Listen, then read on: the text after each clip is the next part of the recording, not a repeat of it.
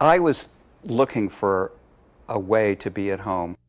Even as a child, I, the, the attempt to escape out of the communist household into the neighborhood uh, to play hockey, um, even in school to learn about French Canadian explorers and to kind of get into those adventures with, with them. And then to discover the French Canadians and their long struggle for survival, to discover somebody like Henri Bourassa. And then in the case of English Canada, when I read Lament for a Nation at the age of 22, um, and saw and then saw this profound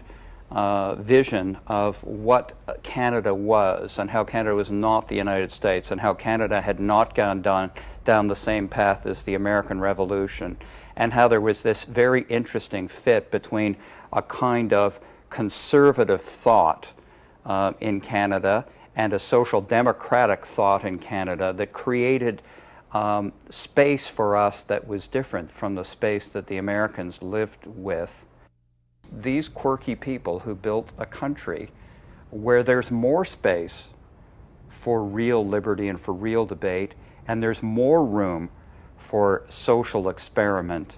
um, and that where there is not an, a, a, a, an imperial uh, design, um, and there is not a kind of uh, pressure for conformity of the kind that one sees in the United States um, at its worst times. That's always attracted me about Canada.